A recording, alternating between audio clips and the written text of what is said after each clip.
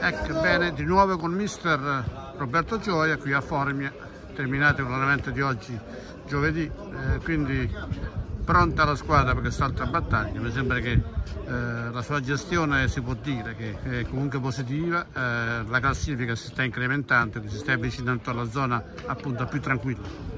Sì, dobbiamo essere bravi a continuare a lavorare come stiamo facendo, ci sono tutti, tutti i margini per, per, per, lavorare, per fare sempre, sempre meglio, quindi dobbiamo, dobbiamo, solo continuare su questa strada. Hai messo chiaramente alla squadra cattiveria giusta quando entrano in campo, insomma, quindi una squadra che mi sembra che eh, anche a Terracina ci ha creduto fino alla fine, si è portato a casa i tre punti. No? Sì, domenica a Terracina buona buona partita dei ragazzi perché il campo non, non permetteva sia da parte nostra che da parte del Terracina, quindi abbiamo, abbiamo cambiato qualcosa, abbiamo lavorato tanto sulle seconde palle e, ripeto i ragazzi sono stati bravi perché poi alla fine hanno lottato eh, per cercare di portare a casa i tre punti che per noi erano importantissimi, ci sono riusciti quindi bravi a loro.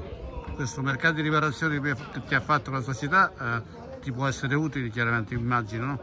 Sì, stiamo inserendo piano piano tutti, chiaramente sono arrivati un po' in ritardo di condizioni però eh, stiamo lavorando anche su questo, Arcangelo domenica ha giocato, Ragosta ha giocato a, a Terracina, ha fatto eh, 70 minuti buonissimi, quindi eh, Cussano la stessa cosa, piano piano lo stiamo inserendo, eh, diciamo che, che, stiamo, che stiamo bene così.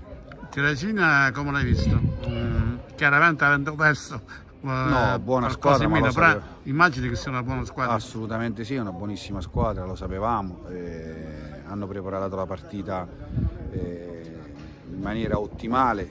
Ripeto, siamo stati bravi noi perché dopo, dopo la, la, partita di Coppa, dopo la vittoria, dopo i festeggiamenti, eh, non era semplice andare lì e fare la prestazione che hanno fatto i ragazzi. Quindi, ripeto, di nuovo veramente complimenti ai ragazzi. Infatti risultati dopo risultati chiaramente la squadra si carica. Domenica arriva il Bicover che è comunque eh, una squadra chiaramente da temere perché comunque non perché abbia vinto a Monte San Biagio ma perché comunque è in fase di crescita immagino. Sì, col mercato di riparazione il Vicovaro non è quello dell'andata quindi quello che già ho detto ai ragazzi ma ne parleremo anche sabato mattina se guardiamo la classifica siamo, eh, rischiamo di farci del male quindi l'ultima cosa che dobbiamo andare a guardare è la, è la classifica sappiamo che è una buonissima squadra, sappiamo i loro punti di forza e, e quindi dobbiamo essere bravi a continuare sulla strada che abbiamo intrapreso da qualche settimana.